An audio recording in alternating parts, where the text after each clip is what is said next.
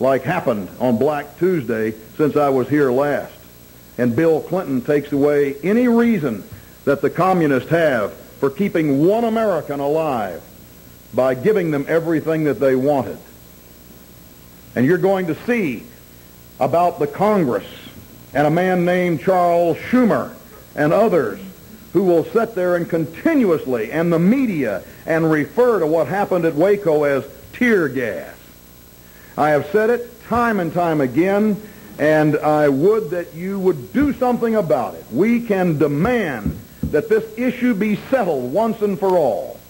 Take Mr. Schumer, take Janet Reno, take Mr. Larry Potts, who ran it for the FBI, take all those government apologists. I'll bet you you could fill a large room with them, and I know that Ted Turner has the money, and put them in a some kind of transparent box. And then don't pump thousands of gallons of CS gas. Just take one beer can size canister, pull the pin, and let it go in there and close the door. And then let the television cameras of the world observe how humane tear gas is. It is a lie. It is a lie. God hateth a liar. I believe that God hateth Washington, D.C., and almost all those people that inhabit those halls that we call Congress and the White House because they constantly lie. They let a man like Hubbell up there. He looks like a big toad sitting on a lily pad. And they ask, I mean, here a guy has admitted to two felonies. He's the number three man in the Justice Department of America, the number three person to give justice. And rather than let a grand jury indict him, he rushes forward and says, I'm guilty because he didn't want them to know. He didn't want the grand jury to look and see what he had done. And yet they invite him before Congress. They invite Larry Potts. They invite these people that have lied under oath with their hand to God. They said, I swear before God to tell the truth and nothing but the truth. So help me God. And then they stood right there and lied. Did they not? And then the Congress brings them on. What have we found out in these hearings? One, the BATF, did they or did they not lie about the drug factory in the Branch Davidian just so they could have armed helicopters and tanks and military service? They admitted lying. Did Congress ever say, uh, well, wait a minute, hold it, you lied? Who lied? Who's responsible for lying? Who needs to be completely stripped of their office, disgraced in front of the American public, and drummed out of service? Who lied? How many of you? No, because you see, they're liars themselves. And so they just say, oh, well, yes, you admit that you had, uh, had misspoken there. No problem. Did Larry Potts lie about writing a, a shoot-to-kill order on Vicki Weaver? He did lie. He swore to God and he lied. And did E. Michael Kahoe, who was one of his officials and then was head of the Jacksonville field office, did he lie? Yes. Finally it comes out. Yes, E. Michael, since I was last here, Mr. Kahoe down in Jacksonville admits that he had taken the kill order from Larry Potts for Vicki Weaver. What have I been telling you? Friends, it will soon be three years. August of this coming month will be three years that Vicki Weaver was shot dead with nothing more deadly in her hands than a 10-month-old daughter. Not by accident, but shot on purpose. An order from Washington, D.C. by Mr. Larry Potts, who was then promoted to the chief deputy director of the FBI. What is the FBI's motto? Integrity, honor, and bravery. Really? Really? It should be, shouldn't it? I knew what was going to happen at Waco. The Dallas Morning News and the Waco newspaper called me on the phone and said, all right, Colonel Gritz, you're a counter-terrorist expert. What happens now? This was after David Koresh had made his radio talk. Remember over Craig Smith? He bought him the time so that he could make this talk. He said he would surrender. He didn't. And I said, It's simple. Here is exactly what will happen next. They will use armored vehicles. They will make an announcement. Friends, it's over. We don't want to hurt anybody, but as of today, we're all going home, one way or the other. We are going to punch a hole in the building. If you do not shoot at us, we are not going to harm you. We want you to surrender. You are going to surrender today. It's over. We're going to punch a hole, and there will be one of our clearance teams.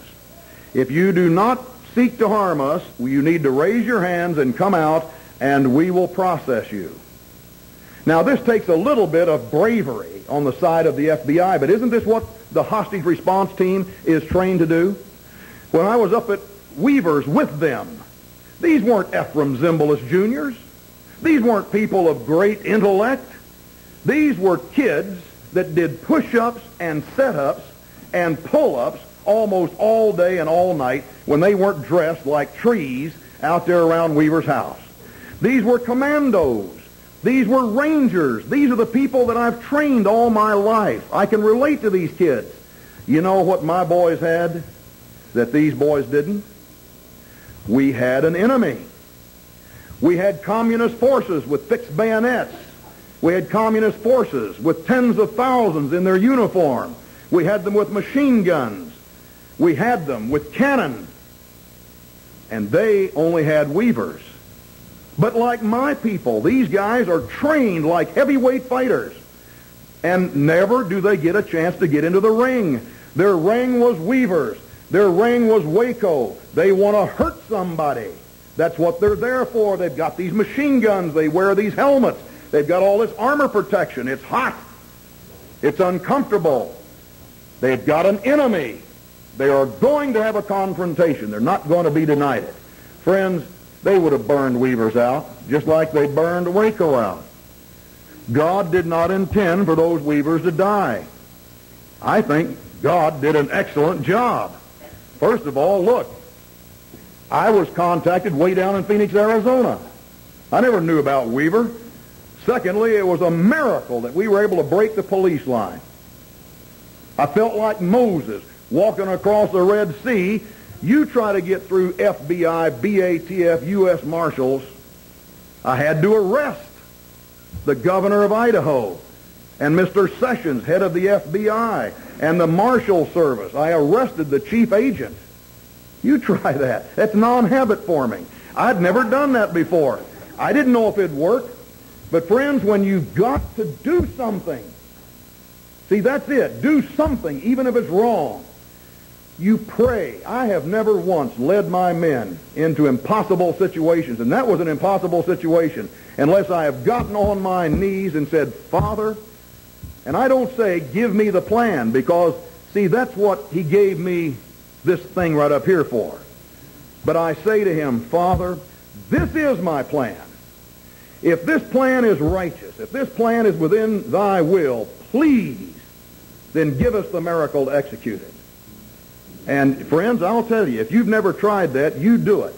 Because you'll be amazed how all of a sudden the communication is opened up between you and angels in chariots of fire.